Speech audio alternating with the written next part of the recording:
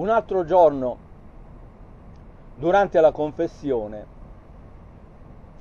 io dissi apertamente a Don Luigi, io sono quel Gesù che doveva ritornare, è ritornato in me, sono io. E lo dico qui in confessione. Il buon sacerdote mi rispose, ma tutti lo siamo. E io ti rimando, Gesù ha proprio scelto il mio corpo per essere nuovamente presente al mondo in una persona, così come aveva promesso. Sono io. Una cosa detta così in confessione,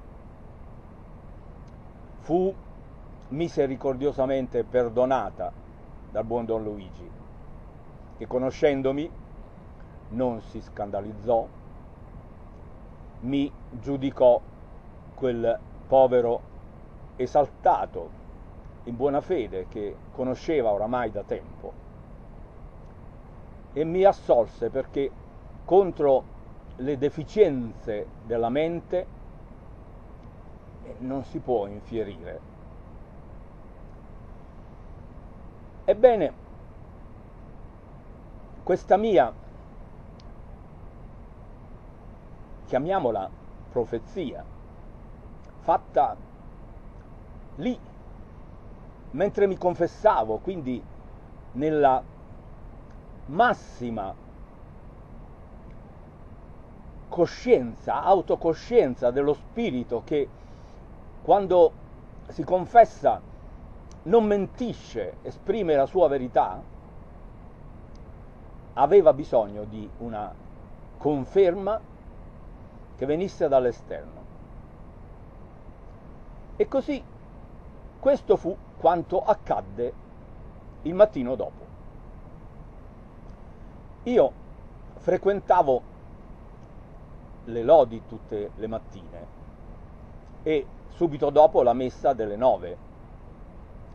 Essendo uno dei soliti, ero entrato nel gruppo di coloro che in un certo senso servivano la messa perché il mio ruolo era quello di presentarmi sull'altare e recitare la preghiera dei fedeli. Questo oramai accadeva da quasi un anno. Quello era il mio ruolo. Ebbene, il giorno dopo quella mia confessione, la persona che, la sacrestana, che presiede agli incarichi, venne da me e ribaltò il mio programma. Disse che quel giorno lì io non dovevo leggere la preghiera dei fedeli, ma la parte che precede il Vangelo. E così mi toccò di leggere dall'altare quella parte del Vangelo in cui Gesù così si rivolge ai suoi discepoli.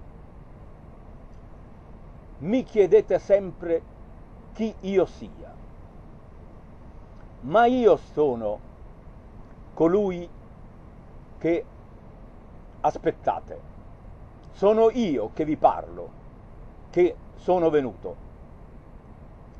Insomma, io fui chiamato da Dio a entrare nella parte reale di un Gesù che ha ripetuto a tutti lì dall'altare le stesse cose che io avevo confessato il giorno prima a Don Luigi.